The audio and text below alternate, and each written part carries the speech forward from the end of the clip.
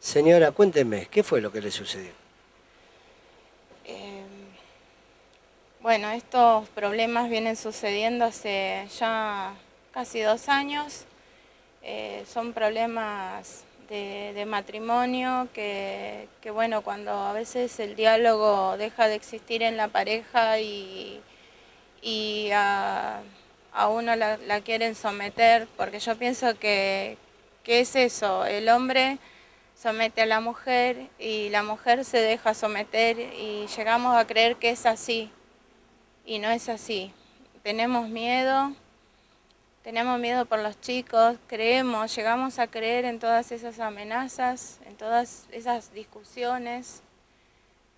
Y hasta que llega un punto que decís, bueno, eh, es la vida de mis hijos o, esto sigue o se acaba ya, porque no se puede vivir así porque ellos también lo, lo sufren, lo padecen y bueno, ellos, no, ellos tienen derecho a tener una niñez sana, feliz y una familia que realmente los proteja y no que los, los eh, castigue y que los someta y que los amenace constantemente. Aparentar eh, que está todo bien ante los demás, ser una persona culta, excelente y llegar a la casa y transformarse en el enemigo de la familia y de sus hijos. Eso es, este, yo llegué a mi casa eh, después de regresar de una reunión de una iglesia, porque asistí con mis padres y fue ese momento de la discusión y de la violencia familiar, que estaban mi, mi chico más pequeño conmigo. Y bueno, este, pasó lo que pasó y decidí tomar una decisión de, separarme por, por el bien de todos. Eh, el tema es que él no, acepta, no acepta, este, me, siguió persiguiendo hace un mes que esto pasó y me sigue persiguiendo hasta que llegó al domicilio de mis abuelas donde yo estoy residiendo actualmente y, bueno, me, agredió físicamente y hasta el punto que ahora me tengo que operar y, bueno, yo sigo, voy a seguir hasta que, se haga justicia, por eso también le agradezco a, todo el cuerpo de policía de, la primera, de a las chicas, a la comisaría de la mujer que me apoyaron en todo momento, a la municipalidad porque me llamaron del señor intendente ofreciendo su apoyo. Este, y bueno, también quería decirle a todas las, las mamás como yo que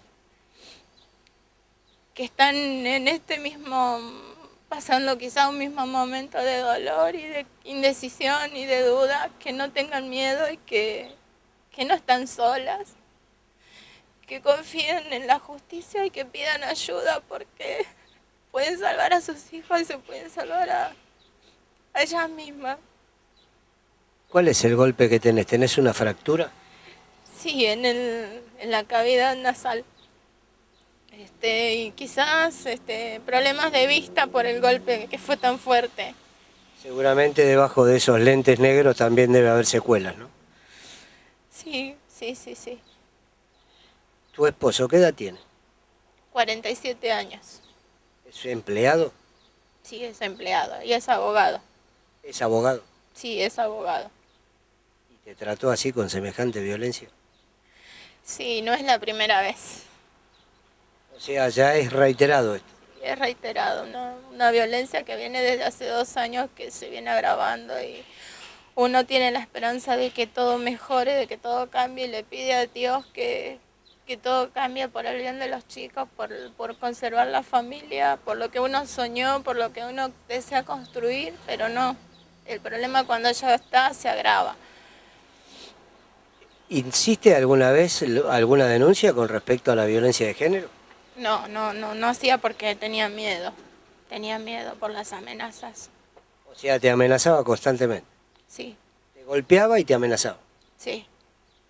Y ahora tomaste coraje y te decidiste. Sí, sí, por, lo, por el nene, sobre todo el más chiquito, porque ya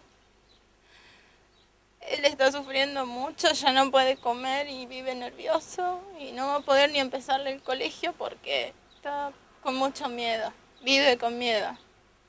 Y él ya en la casa no podía ni hablar porque por ahí recibía un, maltrato y, O sea que a la criatura también la golpeaba. Sí, sí, sí, por ahí también venían las discusiones porque yo siempre lo defendí y cuando yo no estaba no había quien lo defienda y ya no lo podía dejar solo con él.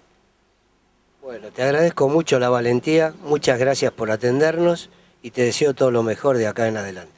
Muchísimas gracias. Gracias